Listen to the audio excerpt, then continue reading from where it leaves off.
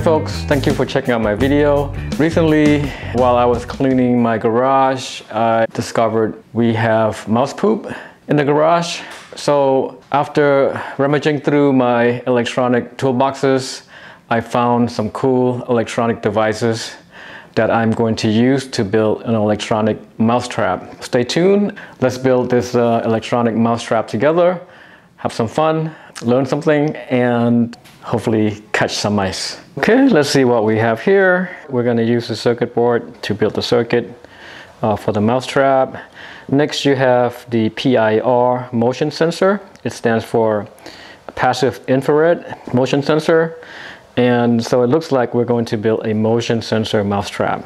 So next we have a MOSFET. This is a uh, transistor. It's metal oxide semiconductor field effect transistor. Wow, a mouthful. So I'll talk a little bit more as we go along in terms of its function. The next item here is the pull solenoid. So this is a cool device here. And what it does is when you apply electricity through here, uh, it produces a magnetic field to create a magnetic pull to pull the shaft down like this.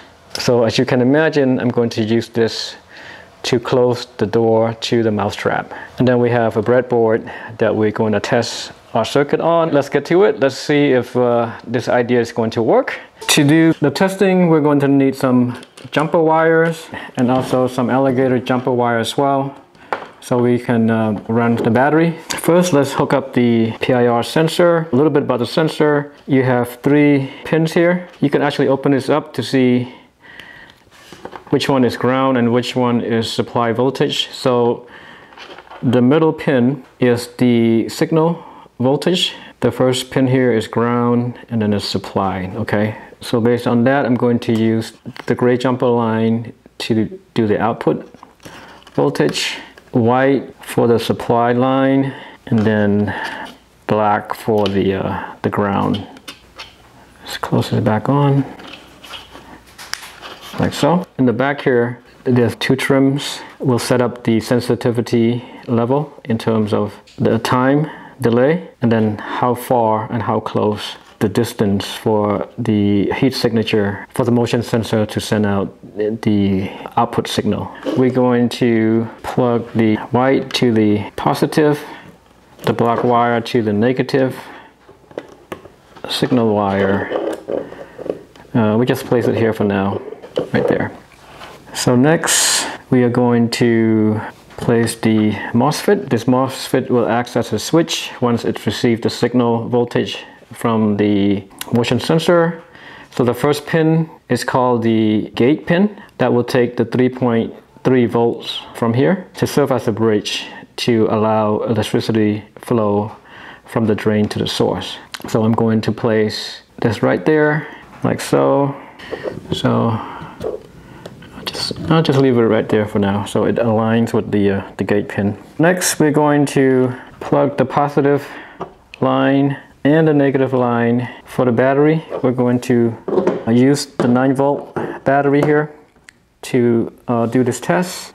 So first we're going to see if the 3 volts being sent out from the motion sensor can actually light up this LED. I'm going to quickly move this a little bit closer here. Cool. So the gauge will get 3 volts this LED can operate on like a 2.5 volts. So I'm going to put a resistor and this is a 1000 ohms resistor. So since I'm running the 9 voltage, uh, the resistor will lower the voltage level to maybe approximately 5 volts, right from 9 to 5. And so I'm going to put the positive legs here, right? The positive is always longer on, on an LED light and then connect it to the, the drain. Cool. I want to see. So 9 volts will lower to 5 and then this will take maybe around 2 to 3 volts here. That is similar amount of the voltage that the, the motion can send out. And then we're going to have to connect the source pin of the MOSFET. Uh, I can put it here. This is the ground pin to ground so that there's a direction for electricity to flow. So the jumper wire will be connected to the, the positive, like so. This one here, which is the battery line. So this is positive, and this is negative. Let's see if it's gonna work. It's kind of hard to do this. Let me bring this out here, like so. Stay with me, folks. Okay. So if it lights up, that means we're getting the 3 point volt signal. Boom. See? Wow, so it lights up. Okay, for motion sensor, for the first minute, it's going to light up on and off until it get itself saturated for it to be stabilized. This tells me that the MOSFET is actually using the 3 volts from here and it's uh, creating a passageway for uh, electricity to uh, flow from the drain to the source, which is good. Boom, it's working.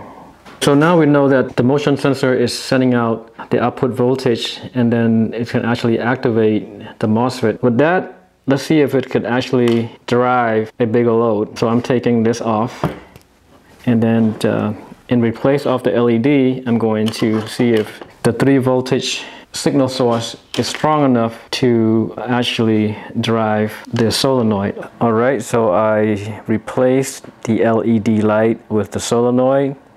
Uh, the only difference is that I did not include the resistor. The solenoid here is, it runs from 6 to 12 volts and it uses about 70 milliamps to 2 amps. So it does require quite a bit of current, which maybe the 3.4, 3 point volts from here might not be sufficient enough to open that flood gauge for electricity to flow through from the battery.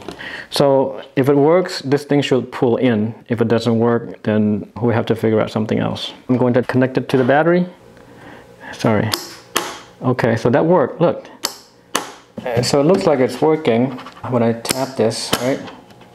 Let me see if I put my hand on the sensor, that will work on cue. Okay, so one, two, three. Boom. Wow, beautiful.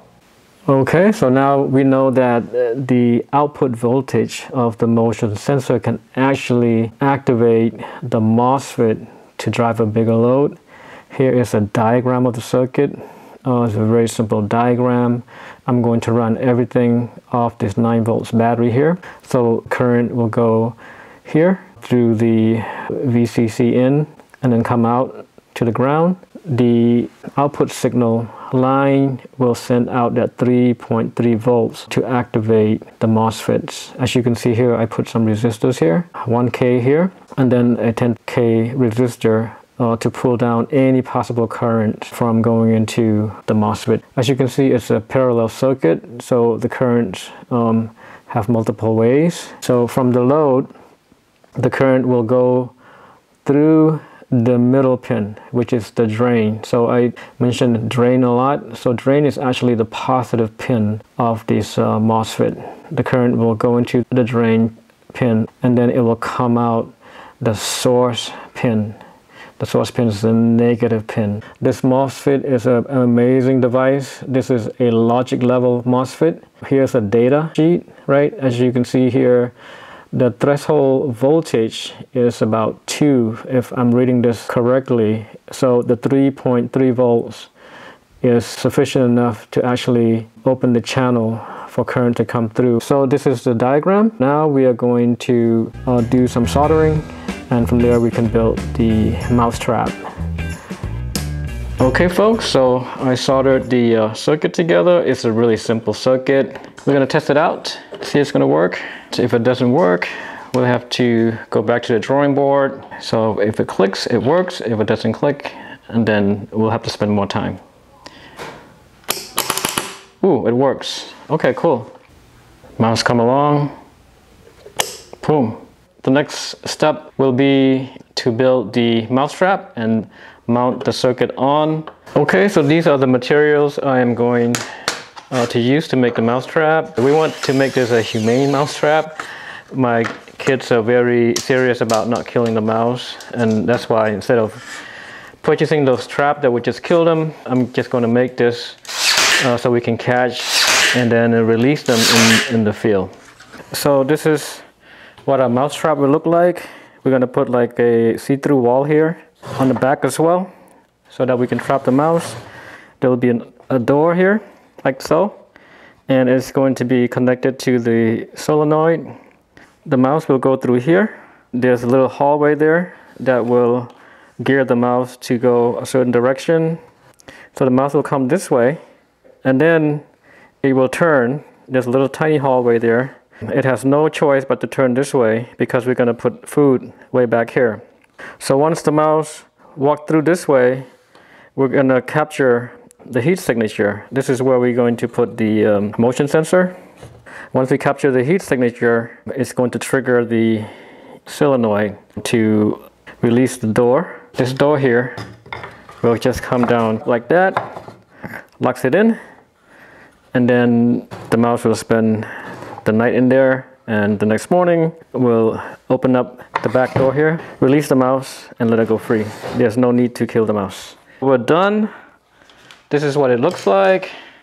So it's a simple circuit. As you can see, I did eventually give the MOSFET a heat sinker just in case. I know it's really low voltage, but I just wanted to be safe. So I did come across a dilemma while I was thinking this through.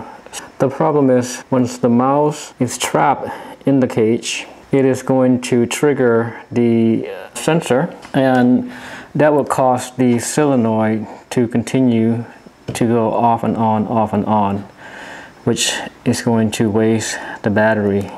So the solution to the dilemma is the uh, creation of this door here, as you can see. In this door, there's a little opening, elongated opening. And what you see here is the kill switch, right? It looks like this, really tiny switch. This is a normally open switch with a little button here. In order to turn on the trap, I pull the door like this. Uh, the button of the switch will be pressed against the door, like so. And then it'll activate the trap by turning on the, the whole system. Once the motion sensor is activated by the mouse, the door will come down like so. Let me just, here, boom, like so. The whole system will be shut off because now the button here will be open because of the opening of this door here, as you can see. Let's test it out to see if this thing is going to work. I end up lowering the sensor a little bit lower so that it could be a little more sensitive to the mouse. The uh, door can activate a little bit faster. So when I reach in there, there should be enough heat signature for the sensor to pick up and then uh, release the door. There we go. Boom. See that? So it worked. We're to try it again just to make sure. I'm going to turn this around so you can see. And I'm trying not to move anything there. Okay? Here we go. There you go. Once the door is shut, the switcher is open, so there'll be no electricity going through even if the mouse go back and forth in front of the sensor. So how cool is that? Here we go. Tonight is a big night for this mouse trap.